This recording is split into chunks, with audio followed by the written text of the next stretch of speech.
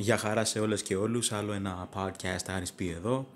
Με σχόλια αυτή τη φορά για τον αγώνα Ανατολού Εφές Παναθηναϊκός που έλεξε πριν από λίγο στην Τουρκία. Τελικό αποτέλεσμα 82-81, νίκη της τουρκικής ομάδας. Αν και εφόσον σας αρέσει η φάση που γίνεται εδώ στο κανάλι, δηλαδή με τα αθλητικά, τα σχόλια, οι ιστορίες, η μουσική, η αστρονομία κλπ. Μπορείτε φυσικά να κάνετε εγγραφή, like, σχόλιο, κοινοποίηση, αλλά και το καμπανάκι να πατήσετε εφόσον κάνετε την εγγραφή, έτσι ώστε να λαμβάνετε ειδοποιήσεις για όσα θα ανεβαίνουν στη συνέχεια και ευχαριστώ πάρα πολύ εκ των προτέρων, το εκτιμώ. Ένα τρίποντο λοιπόν του Αντριέν Μοερμάν, στο τελευταίο δευτερόλεπτο κυριολεκτικά το αγώνα και με 1,5 μάτι παρακαλώ λόγω τσιρότου που είχε στο δεξί του μάτι, Πήρε τη νίκη η τουρκική ομάδα, η Ανατολού Εφές, πάρα πολύ δύσκολα. Εγώ προσωπικά θα έλεγα πως έχει βρει τον πελάτη σε αυτή η ομάδα η συγκεκριμένη απέναντι στον Παναθηναϊκό, γιατί και στην Αθήνα θυμάμαι στο ΆΚΑ που είχε πάρει μεγάλη νίκη ο Παναθηναϊκός και γενικά έχουν διαφορά βαθμολογική. Κι όμως, ε, μέσα στο παρκέ, πολλές φορές στο basketball έτσι είναι, ανάλογα με το roster που έχεις, το υλικό σου, τι κορμιά έχεις, τι υλικό κτλ παίζει ρόλο και το πόσο θα ανταποκριθεί μια ομάδα και κατά πόσο δηλαδή θα ανταποκριθεί μια ομάδα απέναντι στην άλλη, έτσι. Όπως για παράδειγμα που θυμάμαι κατά την περσινή σεζόν τον Ολυμπιακό απέναντι στη Βιλερμπάν, η οποία Βιλερμπάν δεν ήταν καμιά ιδιαίτερη ομάδα, τεχνική κτλ, αλλά λόγω του ότι ήταν αθλητική ας πούμε, δυσκόλευε πάρα μα πάρα πολύ τον Ολυμπιακό και τον κέρδισε από ό,τι θυμάμαι και εντός και εκτός έδρας και σε φιλικό την περσινή σεζόν. Φέτος αυτό άλλαξε νομίζω γιατί βελτιώθηκε ο Ολυμπιακός και λίγο χάλασε η ομάδα της Βιλερμπά, αν και ακόμη έχει καλή ομάδα, αθλητική, έτσι με τον Τόνι Πάρκερ. Τέλος πάντων, ως ιδιοκτήτη και τον αδερφό του προπονητή, ο Παναθηναϊκός ε, είχε να κερδίσει εκτός έδρας απέναντι στην ΕΦΕΣ από τότε που είχε ομαδάρα, δηλαδή με τον Νεκ, το φίλο μου τον Καλάθη, James Gist, Chris Singleton KC Rivers, Νίκος Παπάς στα καλά του κι αυτός, Ιαν Βουγιούκας ο Ελληνοάγγλος, τέτοια υλικά ας πούμε, τέτοια ομάδα, τέτοιοι παίχτες. Είχε κερδίσει εκεί μέσα και τα λοιπά. Σήμερα ήταν η εκατοστή συμμετοχή του Ιωάννη του Παπαπέτρου στη EuroLeague. Στην Αθήνα έμεινε φυσικά ο Στέφαν Γιώβιτς, το νέο μεταγραφικό απόκτημα του Παναθηναϊκού, ο οποίος από ό,τι μου έχουν πει τα πηγαίνει περίφημα λέει στις προπονήσεις και θα είναι έτοιμος λίγα συντόμω. Και θα προσφέρει πάρα μα πάρα πολλά σε αυτό τον Παναθηναϊκό έτσι όπως είναι. Θα τον βελτιώσει πάρα πολύ και θα τον κάνει φαβορή για το πρωτάθλημα. Όπως το έχω ξαναπεί εδώ από το κανάλι ότι θεωρώ τον περσινό πάντα πρωταθλητή ως φαβορή. Έτσι, αυτό λέει η λογική. Τώρα από εκεί και πέρα θα δείξει. Θα έλεγα ότι η φανέλα του Παναθηναϊκού στο basketball είναι αντίστοιχη με αυτή του Ολυμπιακού στο ποδόσφαιρο. Είναι πιο βαριά. Πώς θα το κάνουμε δηλαδή; Μετράνε και οι τίτλοι. Όπως το NBA, ξέρω εγώ, LA Lakers, Boston Celtics, άλλη φανέλα και άλλη φανέλα, ξέρω εγώ, οι Charlotte Hornets, ξέρω εγώ τι. Και ούτω καθεξής. New Orleans Pelicans, ξέρω εγώ. Α, και χωρίς Παπαγιάννη απόψε ο Παναθηναϊκός. Παρ' όλα αυτά τα πήγε τρομερά θα έλεγα. Είχε εξαιρετική απόδοση. Ήταν στρατιώτες όλοι, φιλότιμοι, δώσανε γερή μάχη για το γόητο του Παναθηναϊκού έτσι και τα λοιπά, για την υπόστασή του, γιατί σου λέει κάτσε, τι θα βγω προτελευταίος, έχω και ένα όνομα. Με ένα παρελθόν, ειδικά το μακρινό παρελθόν, έτσι. Στην αρχή του αγώνα ο Shane Larkin ξεκίνησε με τρίποντο. Προ-κορονοϊού θυμάμαι ήταν ο καλύτερος point guard της EuroLeague.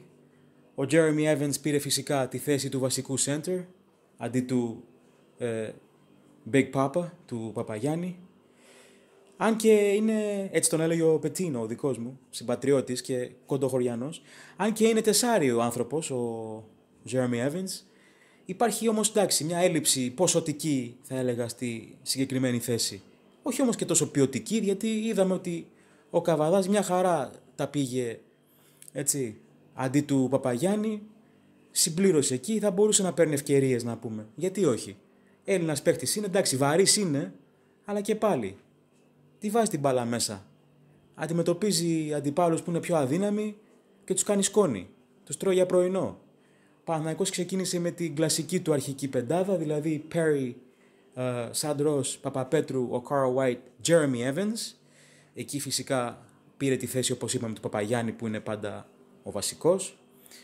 Ο Σάντρος και ο Πέρι αρχίσανε ζεστοί για τον Παναθηναϊκό. Χωρίς άγχος βέβαια παίζανε και με πολλή ενέργεια γιατί εντάξει βαθμολογικά έχει χαθεί το τρένο νομίζω της οχτάδας οπότε σου λέει θα παίξω και ό,τι βγει. Και τέτοιες ομάδες είναι επικίνδυνες έτσι. Στην πρώτη περίοδο λοιπόν τα έβγαζε πέρα και ο Evans με αντίπαλο τον Bryant Dunstan, τον πρώην παίχτη του Ολυμπιακού.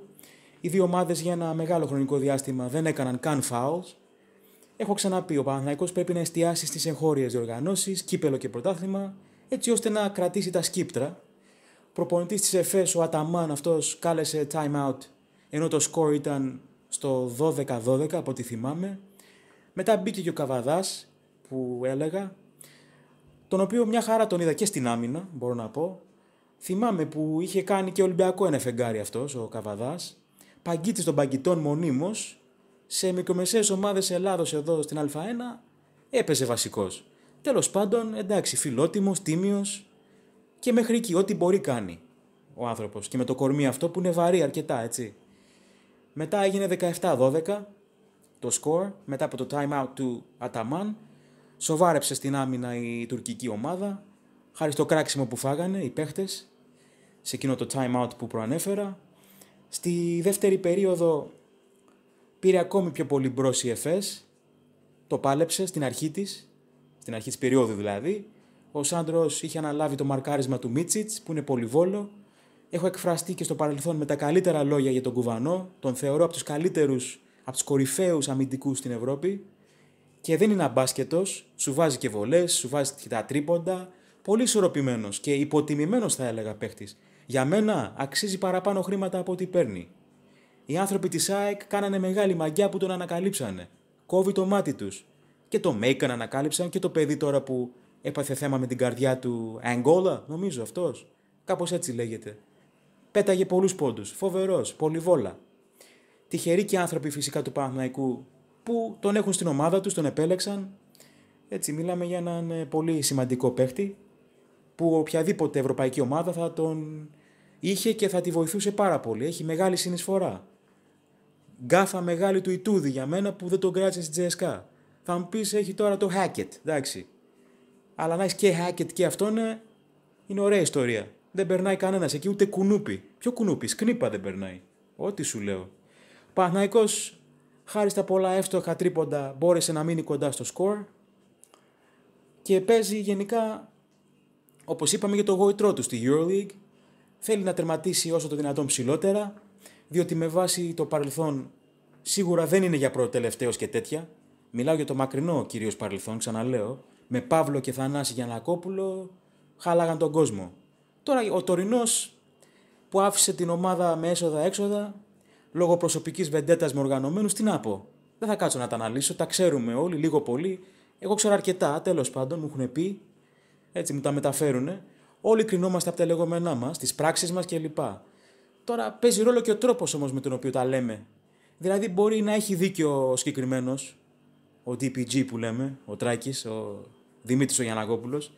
Σε πολλά πράγματα θα έλεγα ότι έχει δίκιο, αλλή μόνο, αλλά το χάνει γιατί βρίζει και το λέει, τα λέει με έναν άσχημο τρόπο, έτσι. Δηλαδή, άλλο το να λες κάτι όμορφο και άλλο να το λες με άσχημο τρόπο. Βέβαια, βγάζει απίστευτο γέλιο. Για μένα ο Δημήτρης και ο Τσουκαλάς από την αντί, αντίπερα όχθη είναι για μένα τρομερή, για γέλιο. Άμα θέλει κανείς να γελάσει, ξέρω εγώ να περάσει την ώρα του ευχάριστα, να κάτσει να τους παρακολουθήσει. Έτσι, εννοείται. Και σε λογαριασμό στο TikTok, προσωπικά έχω πολύ υλικό δικό τους και πέφτει πολύ γέλιο. Τέλος πάντων, γελοτοποιούσους θεωρώ, γραφικούς. Ο Παναγνέκος στη δεύτερη περίοδο μου θύμισε την ομάδα που αγωνίστηκε στο ΣΕΦ με αντίπαλο τον Ολυμπιακό με τρίποντα καταρρυπάς, με καλή άμυνα, παρόλο που έπαιζαν μέσα μαζί ταυτόχρονα τα δύο πολυβόλα που δεν το έχουν με την ε, άμυνα κιόλας. Δηλαδή ο Ντάραλ Μέικεν και ο Νεμάνια ο Νέντοβιτ. Ο Παναθηναϊκός κλείδωσε την άμυνά του, έδεσε χειροπόδαρα την ΕΦΕΣ προς το τέλος της τρίτης περίοδου με μπροστάρι το Μάγκα τον Κουβανό, το Σαντρός. Το μέγεθος των παιχτών του Παναθηναϊκού εκμεταλλεύτηκε άριστα ο πρίφτης, θα έλεγα, για να περάσει μπροστά ο Παναθηναϊκός και χωρίς να παίζει και την πολύ τη ζώνη, πώς τη λέμε, τη γνωστή του. Δεν την έπαιξε πολύ. 39-42 λοιπόν ήταν μπροστά ο Παναθηναϊκός στο ημίχρονο. Δεύτερη περίοδος πολύ καλή και τρίτη για τον Παναθηναϊκό. Η λογική βέβαια έλεγε ότι η ΕΦΕΣ θα έμπαινε δυνατά στο, στο δεύτερο ημίχρονο, δηλαδή στην τρίτη περίοδο. Άρχισε ο Παναθηναϊκός να κάνει λάθη, επιτρέποντας την ΕΦΕΣ να σκοράρει από ευνηδιασμού, στα fast breaks που λέμε. Δηλαδή, ο Carl White έκανε το κάρφωμα του αγώνα λίγο μετά το, τα μέσα μάλλον της τρίτης περίοδου. Σιώπησε όλο το γήπεδο πραγματικά, αντί να χειροκροτήσουν. Τόση κουλτούρα έχουν, τέλος πάντων.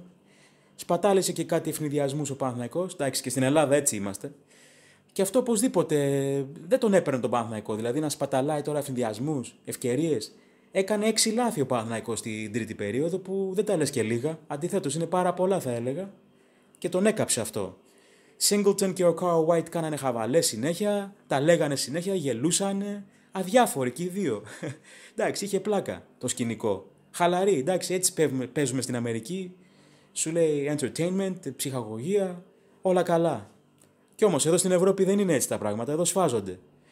Είχε πλάκα όμως το σκηνικό, το οποίο δεν έγινε μόνο μια φορά, έτσι. Ο Αταμάν ακουγόταν να γαυγίζει από τον πάγκο και αυτός, εντάξει, άλλος αυτός, τι να πω. 65-62 έλεξε τρίτη περίοδος. Το να βγαίνει τώρα στην περιφέρεια ο Καβαδάς να μαρκάρει το Μίτσιτς, ξέρω εγώ, ο οποίος Καβαδάς κάνει τα 100 μέτρα σε μισή ωρίτσα, δεν στέκει. Είναι αδιανόητο. Εντάξει, δεν είναι κανένας rim protector, ξέρω εγώ, ταχύς, αθλητικός. Σε πεντάρι, ας πούμε, είναι λάθος αυτό. Βέβαια αυτό το προκαλούσε και ο Carl White με τα αμυντικά λάθη του, ώρες-ώρες. Ο Νέντοβιτς δεν έπαιξε απλά στην επίθεση και έτσι έκανε πολλά λάθη. Δεν ήταν καθόλου απλός στο παιχνίδι του. Ήθελε να κάνει το κάτι παραπάνω. Βέβαια ήταν πολύ βόλο, έβαζα τρίποντα, αλλά την πατούσε ώρες-ώρες με λάθη, διότι σίγουρα το basketball θέλει και μια απλότητα και ένα μυαλό, έτσι. Ο Carl White, ενώ έχανε βολές, τα τρίποντα ήταν γενικά απόψε τρομερός και με κάτι φάλο καρφώματα, θεαματικός. Οι παίχτες ε, της ΕΦΕΣ αντιθέτως έχαναν εύκολα layups και τρίποντα, πάρα πολλά.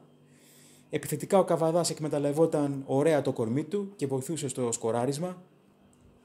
Και έκανε μάλιστα ρεκόρ ε, καριέρας ο Καβαδάς απόψε στο σκοράρισμα, στους πόντους. Ο Νέντοβιτς ε, έκανε ζημιές στην τουρκική ομάδα με τα τρίποντά του Αντιθέτως, οι Λάρκεν, Μπομπουά και Μίτσιτς, που είναι τα πολυβόλα της ΕΦΕΣ, τα χάνανε. 6 στα 25 τρίποντα είχε η ΕΦΕΣ όταν έπαιξε στην Παρσελώνα μέσα και απόψε μία από τα ίδια. Κι όμως στο τέλος το κρίσιμο το έβαλε ο άλλος. Και ποιος αυτός που δεν το περιμένεις, έτσι, ο Μοερμάν. Έφαγε τεχνική ποινή ο πρίφτης επειδή είχε μπει μέσα στον ανταγωνιστικό χώρο. Απρόσεκτος, αλλά εντάξει, απ' την άλλη λες είναι αυστηρό αυτό. Έχουμε ξαναπεί εδώ από το κανάλι και σε χθεσινή εκπομπή ότι οι ομάδες της EuroLeague με τα μεγάλα budgets, τους μεγάλους προϋπολογισμούς, είναι αυτές που σπρώχνονται. Έτσι, το μεγάλο ψάρι τι κάνει, τρώει το μικρό, έτσι πάει. Τι να κάνουμε. Δυστυχώς. Δυστυχώς για μας εδώ, τους φτωχούς συγγενείς στην Ελλάδα που έχουμε ομάδες που έχουν πλέον μικρά budgets. Δεν είναι όπως παλιά που τα σκάγανε, είχαν φέρει παιχταράδες και παιχταράδες και οι δύο, και ο Παναθηναϊκός και ο Ολυμπιακός φυσικά, Χαμός γινότανε. Τι παίχτες είχαν περάσει. Είχε φέρει ο Ολυμπιακός Κλέιζα, εδώ πέρα για Σικεβίτσιου, αυτά, Τζου Νίκολας. Χρήμα. Byron Scott, Dominique Wilkins. Και ο Ολυμπιακός απ' την άλλη, ξέρω εγώ, Eddie Johnson, David Rivers. Έτσι, παίζανε σε ομαδάρες αυτοί, NBA και αυτά. Τρομεροί. Τι να λέμε τώρα; Και να μας ε, παρουσιάζουν αυτά τώρα στις μέρες μας; Τι να κάνουμε, εντάξει, αλλάξανε οι εποχές. Τα έχουμε ζήσει ευτυχώς. Είδαμε ωραία πράγματα από τις δύο ομάδες αυτές στον αθλητισμό και ο αθλητισμός πρέπει να μας ενώνει, να μας ψυχαγωγεί κτλ. Τα θετικά πράγματα. Και φυσικά με τον αθλήσει αποφεύγεις και κακές παρέες και ναρκωτικά. Εντάξει. Εν τω μεταξύ, κλείνοντας να πω ότι ο Ντάνστεν από τότε που τον θυμάμαι στον Ολυμπιακό μέχρι και σήμερα βόλες δεν έχει φτιάξει. Δεν βάζει ακόμα με τίποτα. Τι θα γίνει; Ο Κάιλ Χάιντ που έπαιζε και αυτός στο Ολυμπιακό παλιά, τουλάχιστον το δούλεψε και τώρα παίζει Αρμάνι και είναι μια χαρά. Στην Τζέσκα το έχει δουλέψει, θυμάμαι.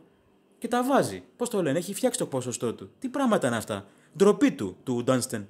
Έχει και Ελληνίδα γυναίκα. Τέλος πάντων, ασπίσαν και τα μουσια του, τι να πεις; Βολές όμως δεν έχει και ο Καρλ White, έτσι. Οπότε και οι δύο αυτοί κάψαν τις ομάδες τους απόψε. αλλά τελικά λύγησε ο Παναθηναϊκός. 82-81 όπως προανέφερα στην αρχή. Σας ευχαριστώ όλες και όλους για την ακρόαση. Να είστε καλά και ραντεβού την επόμενη φορά. Χαιρετώ.